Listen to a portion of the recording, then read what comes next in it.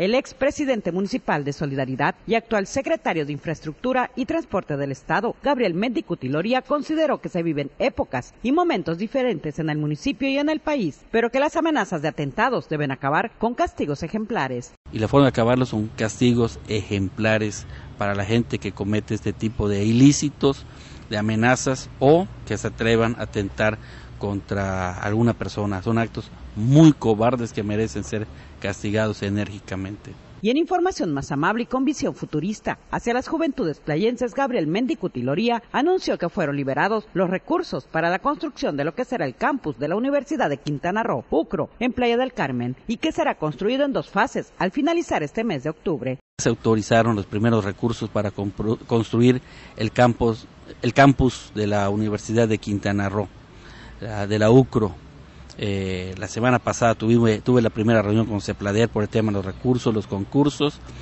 y se debe iniciar la construcción a más tardar a fines de octubre o principios de noviembre. Son dos etapas. La UCRO entra en, operaciones el próximo agosto del 2009, ya con, tengo entendido, cuatro o cinco carreras. En el aspecto económico no lo sé. Estamos hablando de una inversión superior a los 240 millones de pesos va a ser un campus bellísimo, un campus, la verdad, muy, muy necesario para esta parte del Estado, para todos nuestros jóvenes que tienen que emigrar cuando no encuentran ofertas de carreras que, que, requieren ellos. El campus de la UCRO Solidaridad estará situado a un costado de la unidad deportiva al poniente de Playa del Carmen y a donde se está creando lo que será futuro ciudad universitaria.